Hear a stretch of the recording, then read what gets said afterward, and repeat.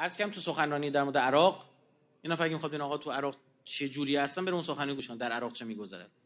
حالا برای افغانستان هم باید انجام بدم چون دیدم مثل شبهه شده براشون. فقط بدون این حرفایی که تو شبکه‌های اجتماعی یه مش مزخرفات. کسی که حرفا رو می‌زنن دو قرون نه طالبان می‌شناسن نه افغانستان می‌شناسن. اصلا نمی‌دونن. یعنی فرق القاعده طالبان داعش نیست اصلا نمی‌دونن.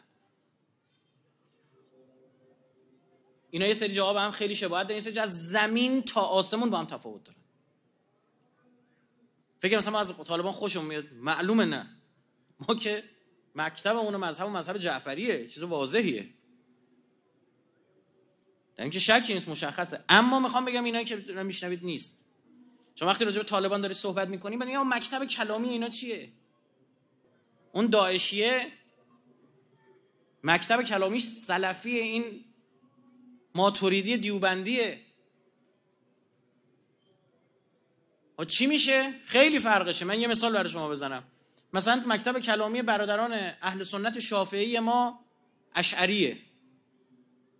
اشعری ها یک نوع جبرگرایی ذاتی دارن. برای همین شما کمتر میشنید مثلا یک ماموستا یعنی رهبر دینی شافعی.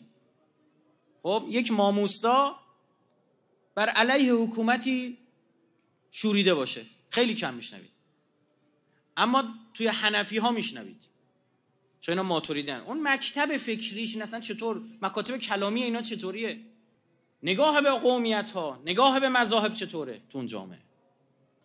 اولویت ها چیه؟ تو فلان جامعه مذهب اولویت یا قومیت؟ مثلا در افغانستان می‌دونیم اولویت اول قومیت بعد مذهبه. شما اصلا باورتون نمیشه که بین شیعیان افغانستانی.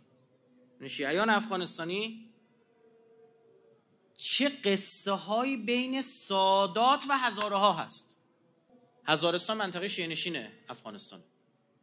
هزاره سنی هم داریم اما اکثر هزاره شیعه منظورم از هزاره هزاره یعنی هزاره شیعه بود. اینا بعد فهم میشه.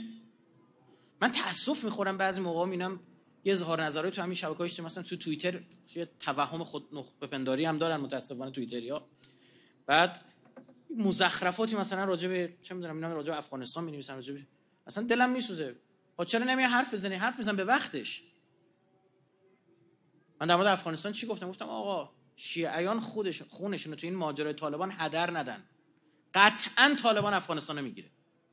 قطعا. الا یه اتفاق خاص عجیب غریب بیفته که خیلی احتمالش پایین خوبن طالبان؟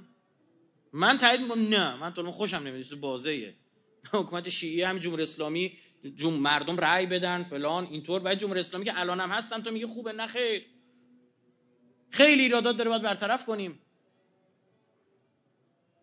فاصله داریم با اون, ف... با اون نقطه. یه شفافیتی تو مجلس پدرمون در اومده دارید می‌بینید. چند وقت این شفافیت داره؟ نمایندگان داریم پیگیری می‌کنیم. فاصله داریم.